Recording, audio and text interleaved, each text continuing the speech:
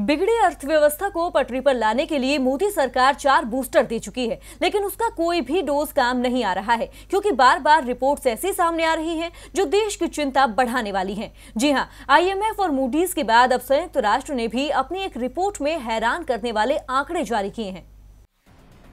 देश आर्थिक मंदी की मार झेल रहा है, हर तरफ़ हाहाकार मचा है। ऐसे में इंतज़ार है एक खुशखबरी का।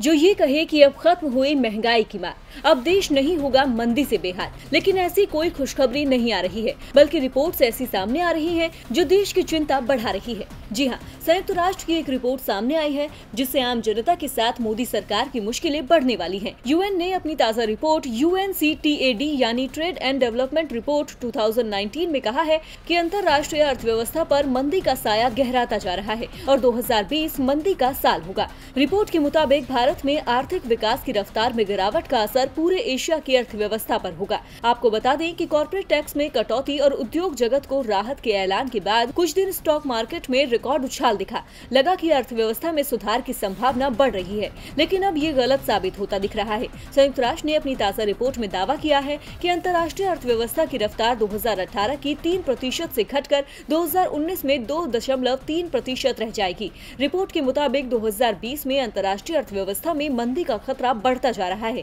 कई उभरती अर्थव्यवस्थाएँ मंदी में फंस चुकी है। जर्मनी और यूनाइटेड किंगडम भी आर्थिक मंदी के करीब है। साफ़ है कि मंदी का असर सबसे ज़्यादा भारत के निर्यात पर पड़ेगा। मतलब खतरा बढ़ा है और अंतर्राष्ट्रीय अर्थव्यवस्था में मंदी से भारत अछूता नहीं रहेगा।